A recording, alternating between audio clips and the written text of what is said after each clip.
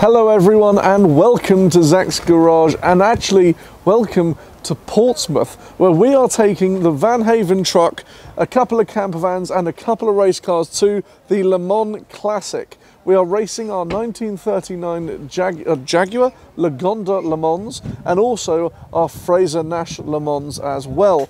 But this video and the following videos are going to be brought to you by Vanhaven, the people who have effectively put me up for this week with this epic van. So we're going to get on the ferry, we're going to get to Le Mans, and then I'm going to show you how to transform this very cool, lots of carbon fiber bodied van into a very comfortable sleeping arrangement. So how cool is this then? We have an old school VW camper. I believe it's a split screen. No, it's not a split screen. It's a very long one though. Right next to the craziest VW camper you could possibly imagine. So you've obviously got the front carbon splitter, the carbon arches. It's obviously on air ride, so it's dropped to the floor at the moment. It's got a totally reworked front bumper, rear diffuser, carbon mirrors, and also a cool carbon roof, which I'm going to go into more detail in just a bit. Now, obviously, as is Zach's Garage, we've got to come in full force. So we've got the RT6 trailer with the Ford Ranger all labelled up, looking awesome, just in time for the Le Mans Classic. We've also got our camp van over there, and that colossal red horse box is also with us. Moreover, I think we can probably work out the fact that it is the Le Mans Classic, judging by the array of wonderful vehicles that we have in the car park not excluding that Jag, which also looks pretty mad. We've got an old Morgan, obviously you guys have seen that I have done videos with the Morgans before. The most underrated car possibly imaginable. Such a cool thing. I think that's a DBS though, so that's that's pretty snazzy. Um, a 911 Carrera, don't, uh, that's a Targa, but I don't know exactly which one it is. Got DB9, lots of other things. But anyway, to Le Mans. Just spotted this, very nice Vantage Roadster. Yet another VW camper. So we are just lining up now to head out onto the ferry. We can actually see the top of the ferry there. It is a very late night crossing. It's an overnight one, so we're going to get in our cabin. But unfortunately, I can't actually sleep in this overnight, which is annoying. So I've got to wait another, well, not 24 hours, pretty much 24 hours. But what's quite cool, when you start the car, this is your airlift. So when you press the middle button once, it shows you it should be 40 at the front, 65 at the rear, and that is level. Um, although some of the people around here, when they uh, when they see this car lift up, they uh, they love it. So yeah, right, let's rock and roll. Okay, so we are now in France, or well, France is out there. I'm still on the ferry, but it's now time to try and work out where the hell Le Mans is. Um, the first drama is that we've forgotten our race license, so top tier right there. Um, but yeah, let's just get on the road.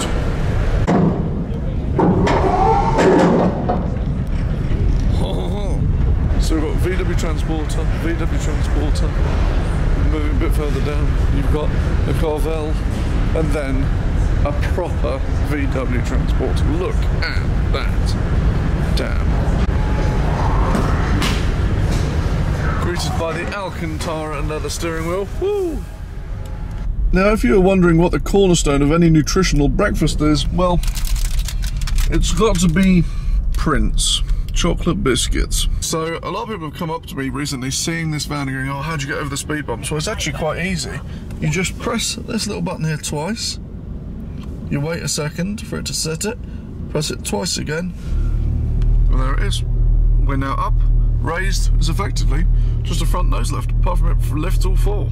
So about two hours later, we are now at Le Mans and we are currently queuing to get in the queue to queue into the caravan site. So yeah, that's fun. How crazy is that then? The same Aston Martin Vantage Roadster that was at Portsmouth when we left is now one car in front of me. Tomorrow. Uh, talking about awesome camper vans, how about that? I mean, talk about driven. This is awesome. So we've got a Porsche GT2 with the roof tent on top. It doesn't get much more Le Mans than this.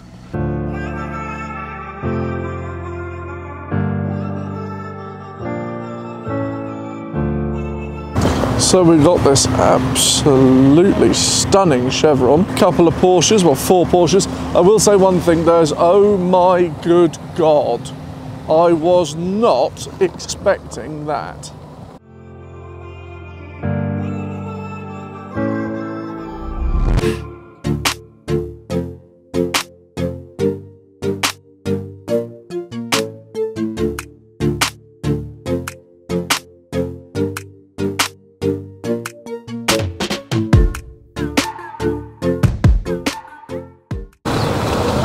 So then another very beautiful Lola.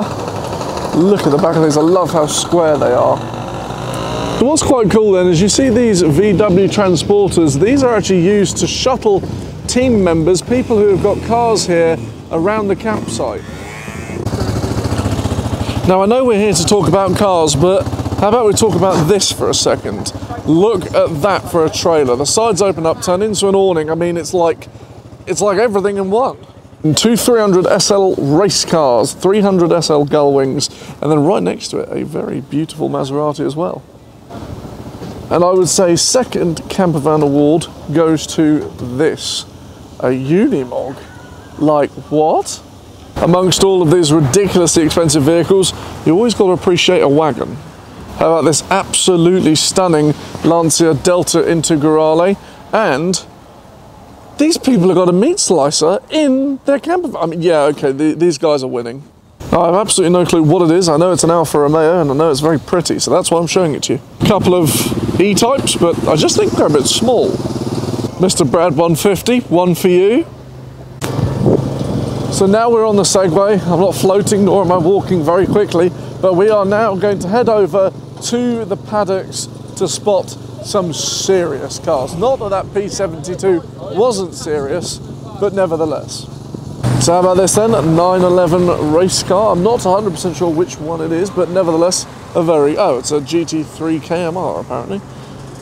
So then we have the 300 SL Gullwing, we have the 300 SLS, which is, uh, yeah, just crazy, no roof.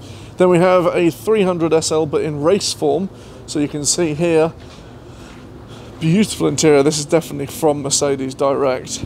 Um, you guys probably would have seen the fact that the most expensive car ever sold was a 300 SLR just the other day. So yeah, pretty cool.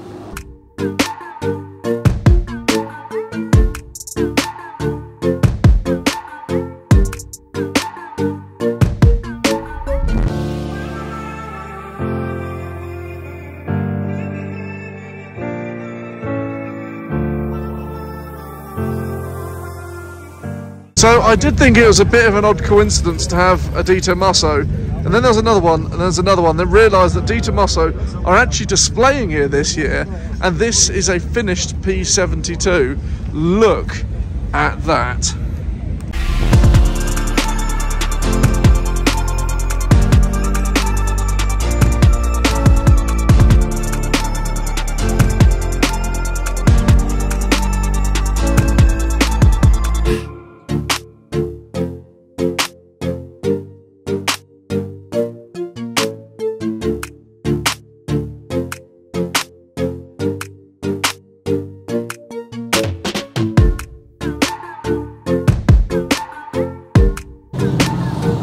So welcome to Plateau 2, cars from 1949 to 1956, some of the greatest classic cars ever made. And we're going to start just over here with this beautiful Ferrari 250MM, a 1953 car. Very, very pretty indeed.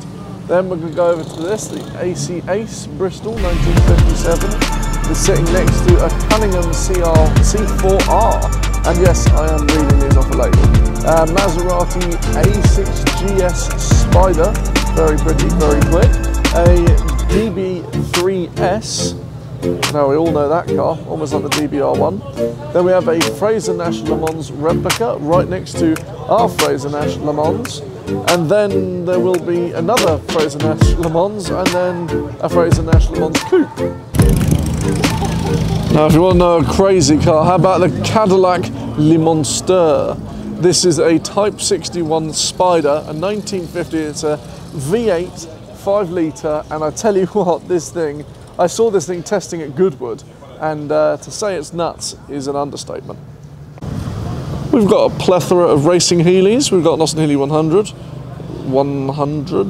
I'm going to stop saying that, but yeah, there's uh, there's quite a few of them. And this, look at these. Wow, Maserati 750.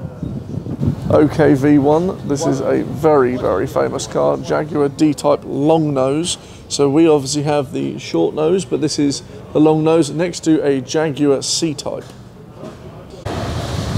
possibly one of the slightest cars you can imagine, the XL 1100, the Lotus.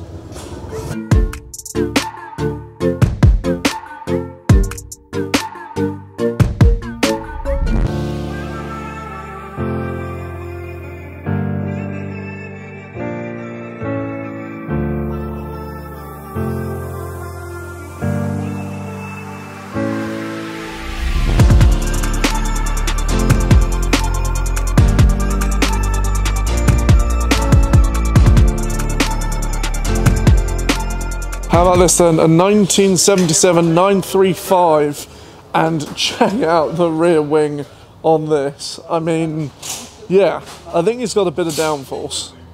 Another 512 BBLM from 1980. Taking a little look around, you can see it's got very reminiscent lines to the 512 BBI, which was obviously the road car, the BBLM, standing for Berlinetta Boxster, and BBI, meaning injection and this is obviously the race version. Not one, but in fact two BBLMs. It just keeps getting crazier.